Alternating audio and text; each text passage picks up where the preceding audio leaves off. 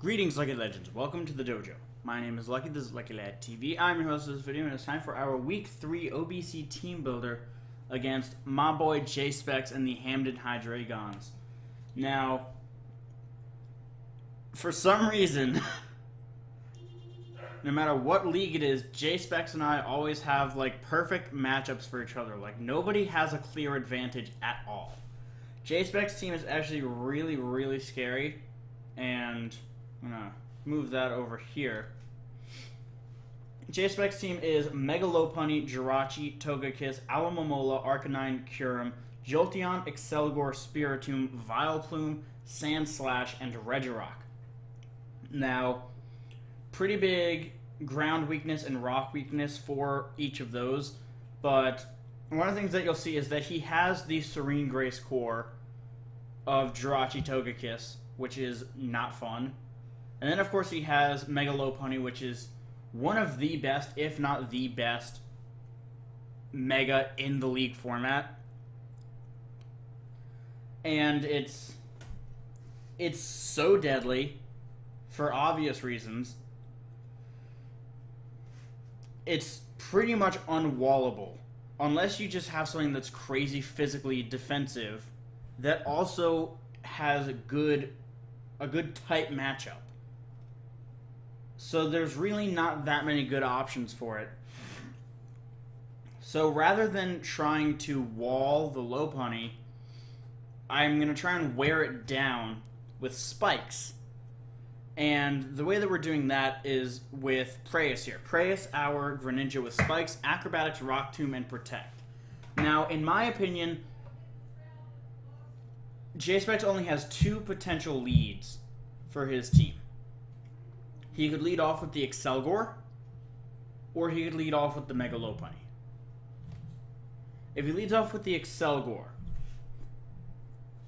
we get off a Rock Tomb against it, which it does around 50%, but the important part is that it lowers Accelgor's speed by one stage, which means that we will outspeed it the following turn. And if he brings us down to our Focus Sash, we consume that, acrobatics power doubles, and we easily take that thing out with an acrobatics. Then he can bring in his Lopunny to try and revenge kill us, which we have protect so that we ignore the fake out. And then, if he is running adamant Lopunny, we actually do outspeed it. Adamant Lopunny hits, I believe, 184 or 187 speed. We are at 191. We will outspeed it, and we can deal a huge amount of damage with the acrobatics.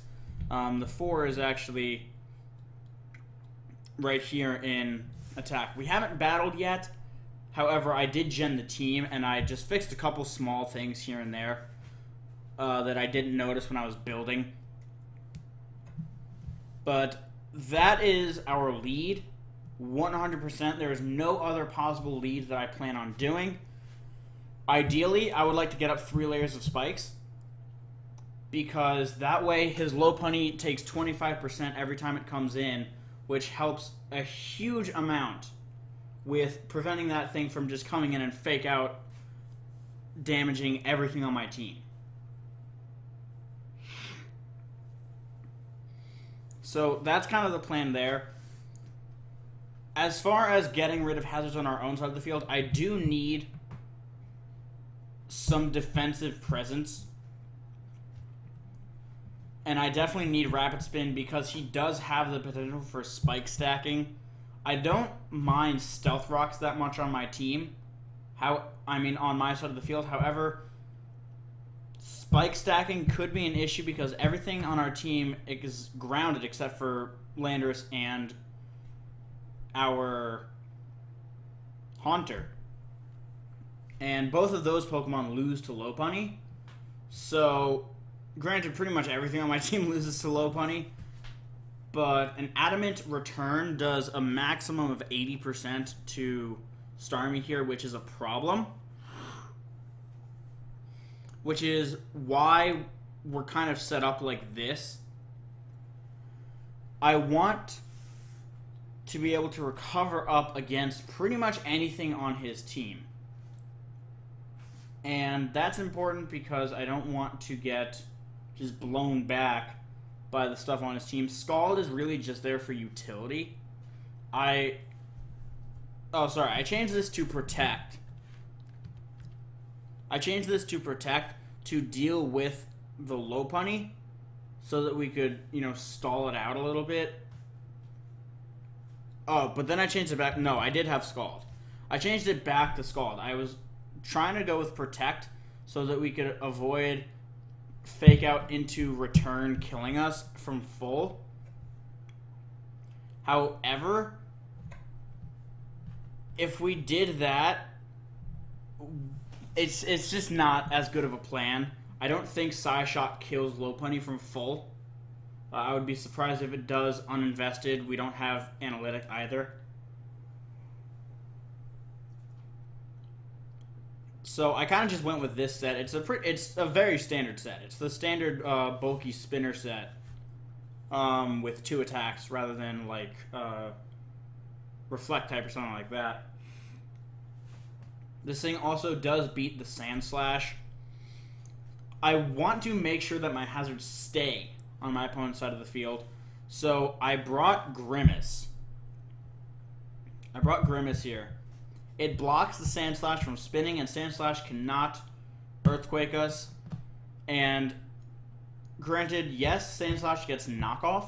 However, um, Energy Ball does a huge amount to Sandslash, and we can also Will-O-Wisp that thing to burn it. A combination of Will-O-Wisp and Hex will take out pretty much anything on his team. We are slower than Jirachi, which is unfortunate. Otherwise, I would Will-O-Wisp Hex that thing to death. We're also slower than uh, the Arcanine, I believe. There's Arcanine, or do we speed? No, I think we speed tie with Arcanine. Uh, we also speed tie with Kyurem. Grimace with that 95 speed, it's good, but it's not great. That's the problem. But we're bringing basically the same set we brought against Sketchy Smeargle. It got rid of the Skarmory in that match, which was really important for us. But basically, my game plan is it's a little odd, but it should we should be able to execute it if we play our, if I play carefully and play right, we should be able to execute it. Which is get up some spikes, get rid of the Jirachi and the Regirock, and then set up with Porygon Z and sweep. I'll go over that in just a second. First things first, I do want to go over Landorus. I am bringing a Choice Scarf Landorus. I probably won't be bringing Choice Scarf that often, just because Landorus is a really good pivot, but having to U-turn all the time in order to pivot is kind of annoying, not being able to just fire off an Earthquake or two. Superpower hits the Lopunny, it hits the Kyurem, and that's really all that I needed to hit. Um, Earthquake hits pretty much everything else. Rock Slide hits the Togekiss. I didn't want to risk missing a Stone Edge against that thing. And U-Turn is there for momentum. J-Specs is a very careful battler, so he does... He switches... I'm not going to say he switches a lot, because that is a negative connotation. But he doesn't leave things in with the potential to die which is why I have U-turn on there because we can get a nice safe U-turn off on a lot of things on his team. Nothing really punishes me for going for U-turn. So that's kind of what that is. Now, Scorpion. Scorpion, Scorpion, Scorpion. this set that I'm about to show you is absolute flames. Flame Charge, Workout, Fire Blast, Focus Blast. I know. I need you to relax. Um, the EV spread is a little bit different. I am um, like this. And let me explain why. Flame Charge Workup would get me to plus one speed, attack, and special attack. Now you're probably wondering why would you bother getting up to plus one attack? What's the point? Well, here's the thing. If he brings a Choice Scarf Jolteon, a Choice Scarf Accelgor, or Sandrush Sandslash, no, not Sandrush Sandslash. We would still outspeed that. But if he brings either of those other two things that I just mentioned, we need to be at plus two speed to outspeed them. I don't have agility or rock polish. I have to use flame charge to get my speed up. I have expert belt as well. Flame charge is also good because it hits the Accelgor on the physical side. Granted, Fire Blast will obviously take care of Accelgor. However, it has the chance to miss, which I would like to avoid if at all possible. Um, it's really only there for the Accelgor, is why we have Flame Charge, but that's in terms of damaging things. And the reason we have Work Up rather than Nasty Plot, because granted we are primarily special, is because I would like the Flame Charge to hit a little bit harder in case he brings something like an Assault Vest Jirachi or just a Spadef Jirachi, which does eat up these hits much, much, much better. So we can hit him on the physical side do a lot more damage. But it's a really silly set. I don't know if it's going to work, but the whole point is to get off a Fire Blast and a Focus Blast against Jirachi and Regirock, respectively, to take them out. Because they're the only two things standing in the way of Porygon Z. Which is our double dancing Porygon Z with Life Orb, Adaptability, Tri Attack, and Dark Pulse. The reason I have Dark Pulse is worst case scenario, we aren't able to get rid of Jirachi beforehand. Or worst case scenario, we aren't able to get rid of Regirock beforehand. Dark Pulse does a lot more to them. Well, Tri Attack and Dark Pulse do the same to Regirock because they adaptability doubles the stab so this is still 80 against Regirock, but Dark Pulse is super effective against Jirachi, so it will do much more. But Agility Nasty Plot, um, the EV spread. So I just dumped as many EVs into special attack as I could, which is all of them. 220 plus, or 220 timid, means that at plus 2, after one agility, we outspeed a Choice Scarf Jolteon, which, with the exception of a Choice Scarf Accelgor, is the fastest thing on his team. And nobody runs Choice Scarf Accelgor because it's stupid. Choice Scarf Jolteon, on the other hand, could be a thing if you really wanted to. Just because it's not, you know, the most logical idea but at plus two speed, we outspeed absolutely everything on his team except for the potential Choice Scarf Accelgor if he decides to bring that.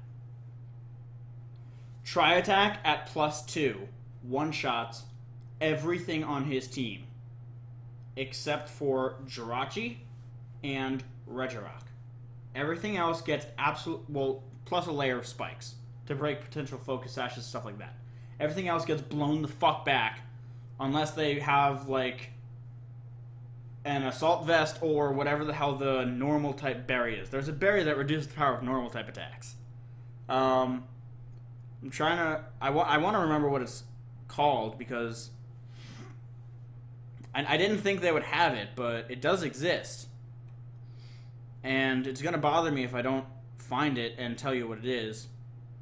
Um, Let's see. Tangaberry, no. Walk on, no. Yache, no. So I'm I must have run past it. No, no. It's not Babiri. Babiri is steel. Charti is rock. Ah, the Chilan Berry, or Chylon Berry. It has damage taken from a normal type attack. If he wants to put a Chilan Berry on something on his team, it might take the plus two Tri Attack. Or he, of course, does have Regirock. He does have Jirachi. He does have the potential to assault vest something Maybe like an Alomomola could take it with an Assault Vest. Um, however, if I do see Alomomola come in against this thing, I will assume that it is Assault Vest Mirror Coat, and I will nasty plot up against that thing to make sure that we one-shot it. Um, Assault Vest Togekiss could probably take one, because Togekiss has great natural bulk to it. Um, but Togekiss can't really do that much back to us if it is Assault Vest. So I would probably just attack that thing straight off the bat. Although it does get Aura Sphere, which could be a potential problem. Other than that, nothing really wants to take it. Spiritomb will go down to the Dark Pulse um, at plus two, I believe. Um, I know it goes down at plus four. Um, Spiritomb is another example of a Pokemon that nothing on our team can really just take it out. Because our fairy coverage on our team is Aromatisse, which is not offensive. Unless you bring, like, the Calm Mindset. Which I probably will at some point. I haven't had the chance to bring it yet, but again, this is just week three. But that is our team. I'm really hoping for the Porygon Z sweep. I really, really am. That would be absolutely epic, but that's going to be it. Thank you all so very much for watching. If you enjoyed, make sure to leave a like, comment, and subscribe down below. It's very much greatly appreciated. But with that, I'm going to get about. Best luck out there. I will see you all soon. Goodbye.